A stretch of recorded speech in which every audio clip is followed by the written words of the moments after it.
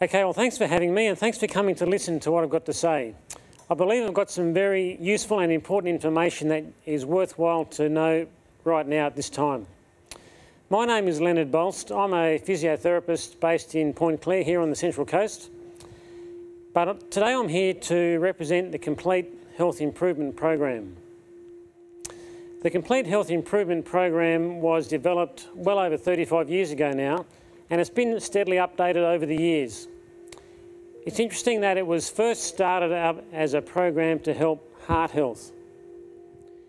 But over the years, and lots of thousands of people have gone through it, they realised that there were many other widespread benefits. These included things like, especially diabetes, all those long-standing diseases, big change with diabetes, changes with um, bone density, changes with cancer, and the whole body systems improved when changes were put in place. Now, in particular, today I want to speak about the immune system. So I want to take the principles from the Complete Health Improvement Program and show you how they benefit your immune system. Stay with us to the end because I have a special bonus I'd love to give you. So in this environment of the corona 9, or sorry, the coronavirus COVID-19 epidemic we're in, the immune system comes to the fore. Now, obviously, I don't want to at all downplay the importance of avoiding contamination. You know, our government has gone out of its way to remind us to wash our hands, keep our distance, avoid touching our face. These are all very important at preventing getting contaminated.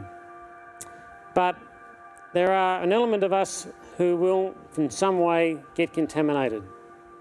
So when that happens, we need to do our best to fight off infection. And that's where the immune system is so important. And that's what I really want to talk about today is what we can do. So one big principle I'd like to share with you is the notion of whole body hot and cold. It's been um, often termed traditional hydrotherapy. Now, in our, our, modern culture, hydrotherapy usually is, is taken to mean exercising in water, so exercise in a pool. But the traditional form of hydrotherapy used water, usually hot or cold, applied to the body in some way, and that heat that was generated or the cold that was applied had a therapeutic benefit. And that's why you may see some places this term traditional hydrothermal therapy, because it's really that temperature effect that you gain when you apply these treatments that, that we're looking for. So this notion of whole body hot and cold is important, but there's a few cautions we need to be aware of.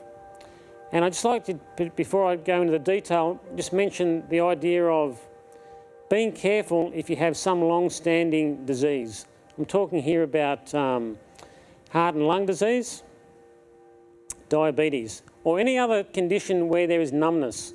If you can't feel the direct heat or the direct cold, and then there is a, is a um, potential that you could get injured without realising it. So when those things exist, we need to find another way to apply um, some treatment. There's a great website out there called traditionalhydrotherapy.com. This website has actually been put together by a colleague of mine, Bruce Thompson. He lives in the Lake Macquarie area, not at all far from here. He has this up to date, and in fact, today he's putting another update related to coronavirus on there. Um, if you have any questions about how to apply it, and you can look that up, there's lots of detail there. The other comment I need to make is, you, I'm sure by the end of this you'll be keen to apply what I've talked about, but don't think you need to force it on anyone. If you're not comfortable having it done, that's one sign not to do it. And the other comment I need to make is, it is heat, and if it's too hot, it will burn. That's what heat does when it's too much of it. So it's important that you only apply the heat that you're comfortable tolerating. Otherwise, there will be a burn. And my final word of caution relates to if you have symptoms of COVID-19 and you think you may, yeah, think you've got it, it is important to see your doctor. Consult with your doctor and listen to their instruction, follow their instruction. What I'm saying here is not designed at all to go above what a doctor would tell you. This is really in addition to. And as you hear what I, what I present, I think it'll make sense for you. So with those cautions in mind, I want to um, bring to your attention the notion of whole body heat or cold. Now, when you are well, before you may get one of these diseases, uh, or any sort of um, viral infection or a fever, while you are well, that is an opportunity that you can take to boost your immune system. And the way you do that is to give yourself a quick cold shower. Now, you'd have your normal shower, you wash, get nice and warm, and feel nice and clean and ready to step out. Before you turn it off, turn the hot off and ramp up the cold, full on. You get a quick sort of a shock and go, oh, what's going on? Can I do this? Yes, you can do it. Go with it, and ideally you want to go for about 30 to 60 seconds. Uh, you may not manage the full, the full time, but give it a go. Even if you start off at five seconds and then over the days build it up until you get to 30 to 60. You know, I think now's a good time to start before the middle of winter because in the middle of winter that cold will be really invigoratingly cold. So get used to it now. And what that does, it actually boosts the immune system. They've measured um, the cells in your bloodstream and those white blood cells and other cells that are related to the immune response get activated when we have a sudden cold after a, a warm shower. So that's one thing we can do when we're well. That'll help keep us well. But what happens if you are sick or have the, have the flu coming on? You know, at the very first sign of any illness is the time to apply what I'm about to share with you now. The sooner you do it, the sooner you can respond, the sooner your immune system responds and takes over. You know, what I'm about to say hasn't been tested on COVID-19 simply because we haven't had enough time to, to, to do it. But what I'm about to share is definitely been shown to work with other viral disorders, diseases, and the effects of viruses. Um, so stick with me and you'll um, learn something useful is my plan. So at the very first sign of illness, and we're talking here about where you get a headache, body aches, um, you just sort of go, oh, I can feel something coming on. When that happens, that's the time to um, take action. And the action is to heat the whole body in some way, but not with exercise. It needs to be a passive heat. And once you've done that, followed by a quick cold, a bit like that cold shower I mentioned, and then would you want to stay warm, rest up, and if it's in the evening, go to sleep. So how can you achieve a whole body heat? You know, in our culture, probably the easiest way would be to have a hot bath. And what I'm talking about is a hot bath that is not almost hot, but hot. So the idea would be if you fill the tub, you know, sort of third full, of a temperature that is comfortable to get into, as warm as you can comfortably hop in. Once you accommodate, then turn the hot water on and let the tub warm up more and more. It is important that it's comfortable for you, not too hot that you burn yourself, but comfortable enough that you feel like you are getting warm. And what will happen is you'll develop a sweat. You, sh you should notice it on your top lip or your forehead or if it's really hot, you'll probably feel it just pouring off your face. When you get hot and sweaty, that's a sign that you're hot enough. And you'll probably say, I had enough of this, I need to get out of here. Well, when that happens, that's the sign that it's time that you've been in there long enough. It's usually around the 15 to 20 minute mark, and that's the time to, to hop out. Once you get out, you then give yourself a cold shower. So 30 seconds to a minute of a cold shower immediately after getting out of a hot bath. It'll actually feel invigorating and you'll, you'll enjoy the experience. Um, try me if, you, if you're not sure. I mean, test it out if you're not, not sure. Um, after that, dry off, go to bed, rest and sleep. So that's the, the, um, the, the, what we can do in our culture. Um, in places like Finland, where saunas are very prevalent, it's another option for them. If you have access to a sauna, all the better. You should use it. You know, in Finland, just out of interest, the population is roughly 5 million. They have at least 2 million saunas in the country. And if you consider that each one will hold at least two, but most of them hold four people, the whole country can hop in the sauna all at once. And um, that's very much their culture. We don't have it here quite the same. But you may sort of think back that the, the Finns are big on a sauna, go roll in the snow or swim in the icy waters.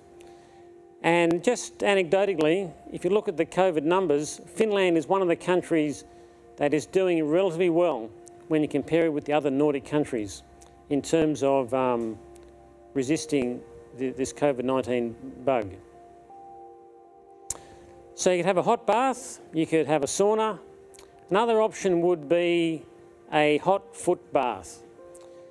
Now, obviously it's not your whole body, but the idea would be that you put your, get a, a laundry sort of tub or basin, and in there you'd put in at least eight inches of warm water, hot enough that you can tolerate it obviously with your feet. And then if that's not really that hot, you can then top it up or get someone to top it up with you with some hotter water.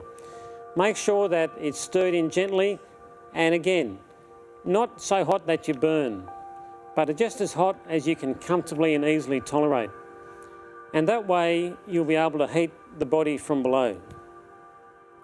At the same time as that, you would put on a jacket, ski jacket or some blankets, keep the rest of yourself warm and drink a nice hot drink. A lemon drink would be the ideal, but a hot drink, so heat the inside and then um, keep yourself covered up and have the warmth from your feet going through your body. And you'll notice that that way you'll actually develop a sweat as well. And when that happens, the whole body heats up and nature takes its course.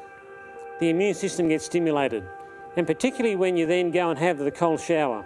So whether you have a hot bath, a sauna, or the hot foot bath, either way, you want to finish with a quick cold shower and then dry off. Don't get a chill. It's important if um, sort of the cooler time of the year, keep the doors closed, make sure there's no breeze or wind blowing so that when you're drying off, you don't get a chill. Then go to sleep and relax. You'd be surprised how well you feel the next morning. Now, like I said before, the sooner you do it in the course of the illness, the quicker the response will be. You might say, well, they'll do this every day for how often or what? The ideal would be to do this every day for a maximum of just three days. Usually you find that three days is ample time to recover from any sort of um, flu-like bug. It is important, like I said before, if you don't feel like you're recovering, definitely go and see your doctor. It's not a panacea of everything, but you'll be very surprised how well it will make you feel and you will turn around quite more quickly. So that's the notion of a hot, or sort of should say, whole body hot followed by a quick cold. And um, if you can apply that, you'd be surprised, like I said, how well you feel. So there it is again as a summary. First sign of illness, give yourself whole body heat until you start to sweat, followed by a quick cold, and quick is only 30 to 60 seconds. Stay warm, rest and sleep, and have some extra water because when you sweat you want it to be replaced, otherwise you will get, get too dry inside. So that's the big thing about whole body hot and cold that I'd like you to, um, to be aware of. So what else can we do? You know, CHIP, the Complete Health Improvement Program, teaches you how to eat, and in particular, whole plant foods. So I'm not saying eat the whole plant, but I'm saying eat plant foods in, in its full state as, as possible.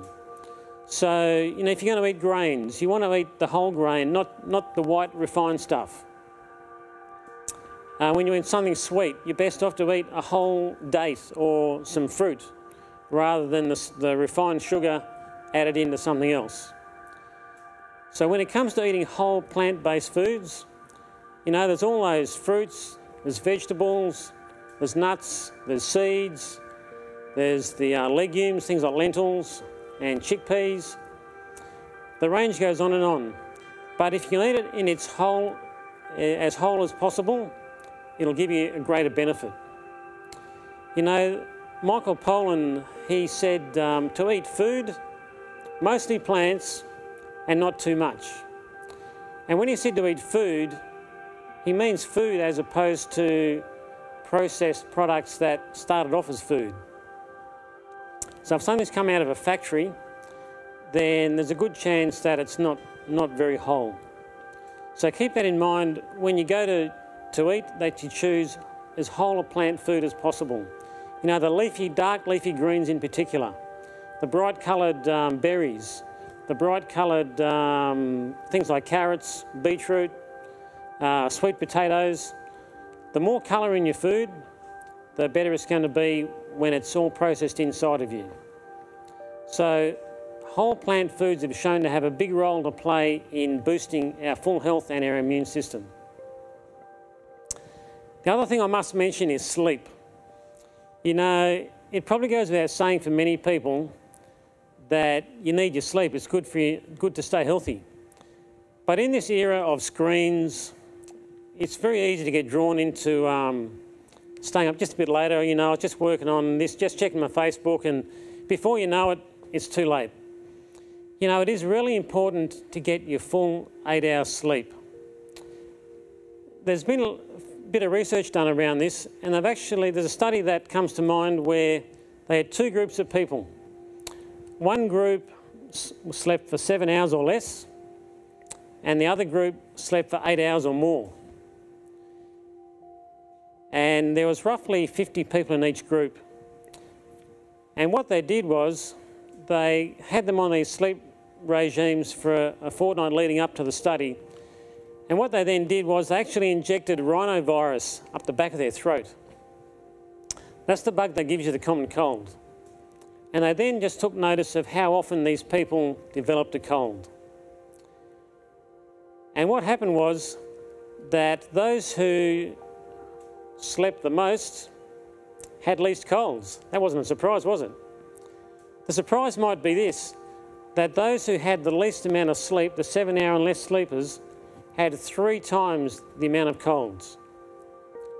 So that's a potent effect if you want to keep your immune system active to ward off the viruses, the bugs that are floating around. Make sure you can do your best to get, get your good full eight hours sleep. And the other comment on sleep is you want to do your best to get good sleep. And by good sleep, I mean going to bed before midnight, preferably two hours before midnight at least. For some reason, the sleep in that early time has a, a more rejuvenating effect. And other research shows that it's when we're sleeping that our healing actually occurs. And that's why sleep is important. It helps the immune system provide this healing response. The other comment about sleep is if you're having trouble sleeping, make sure the room is dark as you can get it, as quiet as possible. Some people need a bit of um, background noise, maybe some light music. But to get your best sleep, you want to avoid using screens before bed. You know, that first hour before sleep time, you really want to go without a screen. By screen, I mean TV, iPad, phone, all those things. And there's other evidence out there to tell us that we should keep our phone, our mobile phone, not beside the bed.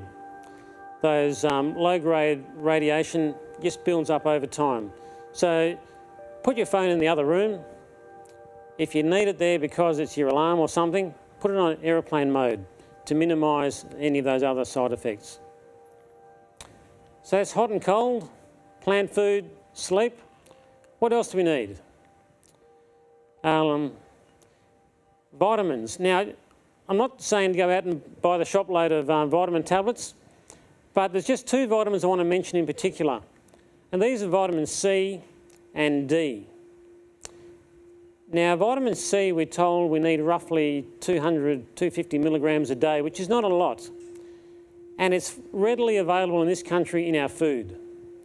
So if you go back to what I said before about eating whole plants and um, fresh food, if we eat fruits and vegetables, like I said, the bright coloured foods, there's plenty of vitamin C there. Even potatoes have a substantial amount of vitamin C. And vitamin D is the other one we need to mention in regards to our immune system. It's an important um, part of what allows the immune system to function. And in our climate, we have plenty of sunlight available. So obviously be careful in terms of getting burnt. If you've got very fair skin, you need to be extra careful and you'll know that. But it is important to make sure we do get enough sunlight so we can get that vitamin D. Now, if for some reason you can't either go outside or you sort of think your vitamin D is low, you can take supplements. But your best bet would be to go and see your doctor. If they agree with you, they'll get it measured, see what your level is, and they'll work out what, how much you should take. So if your vitamin D you think is not crash hot, talk to your doctor and um, they will help work out how much you need. Now here's the good one though, exercise. As a physiotherapist, exercise is um, what I, one of the things I live for. Now, it too has been shown to boost your immune system. So for some of you, you might say, oh, exercise, that sounds like hard work. But it's fun work. So find something that you can enjoy doing and where you can actually get your heart rate, get your breathing elevated in some way. You know, I love riding my bike up a mountain track somewhere. Um, others might prefer to go walking, running, jogging. Um, you can swim. You could um, lift weights. You could dance. I can't dance, that's why I'm not.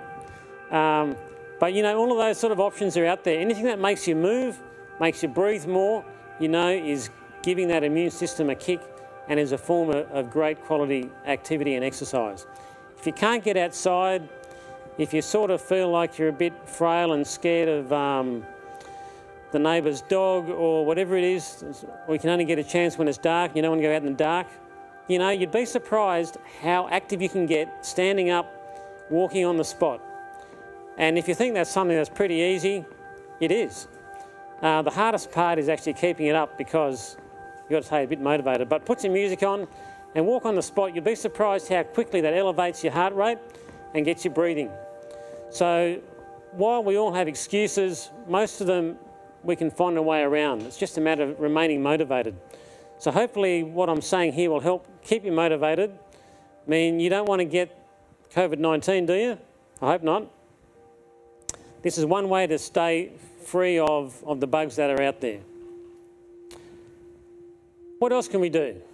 You know, something that's so common right now is stress especially in this environment, we're living all indoors, can't go out, can't go to the park, can't meet your friends, the kids are under your feet, and you're sort of going, oh, I had enough of this.